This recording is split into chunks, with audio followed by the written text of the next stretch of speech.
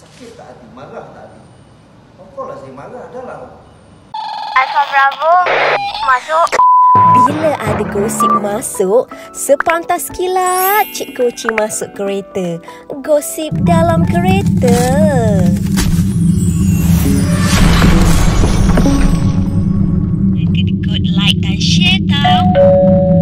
Assalamualaikum dan hola hola guys. Selamat datang ke Cik Koci Channel. Gosip dalam kereta dengan hashtag Sepantas Kilat. Jom jom petang ni kita nak cerita mengenai Dalang tuduh Syuib bunuh Siti Sarah. Mohon maaf dan menangis.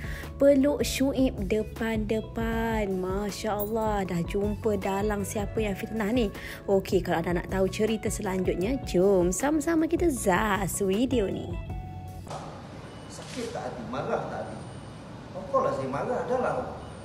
Orang yang saya sayang lah tak ada. Tapi cerita ni terlalu bodoh. Nampak macam saya ni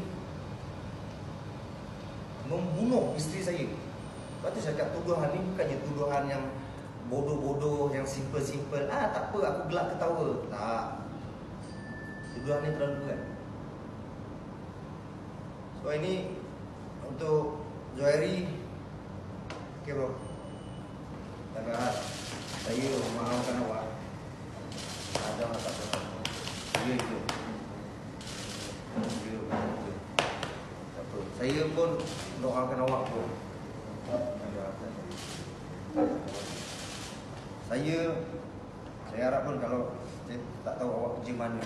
Untuk uh, Saya harap tak mengganggu saya harap tak mengganggu keluarga awak.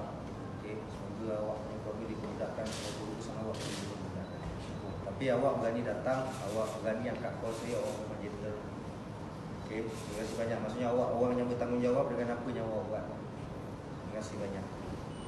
Alhamdulillah. Uh, individu yang bernama Zuhairi yang memfitnah Syuib ini telah meminta maaf pada Syuib dan Syuib telah memaafkan uh, individu ini yang bernama Zuhairi. Ya mulia betul hati Syuib ya. Uh, maafkan dalang yang memfitnah dirinya. Apapun kita doakan yang terbaik dan kepada anda semua seperti biasa jangan lupa jangan kedekut untuk like share dan subscribe Cik Koci Channel Gosip Dalam Kereta dengan hashtag Sepantas Gila Silat. Dari subuh, Cik Koci bagi gosip terbaik semestinya dalam kereta. Terkadang mengejutkan. Sampailah ke malam.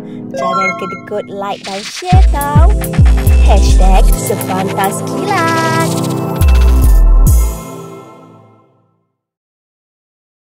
Diulangi artikel ini diambil dari artikel berkenaan. Sebagai penggemar media hiburan, harus berhati-hati dalam memilih sesuatu isu.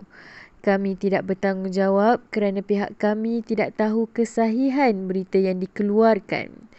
Jangan meletakkan kepercayaan penuh dan membuat spekulasi atas perkara yang kita tidak pasti. Menghayati hiburan boleh, jangan sampai kita melibatkan diri dengan fitnah dan buka aib mereka.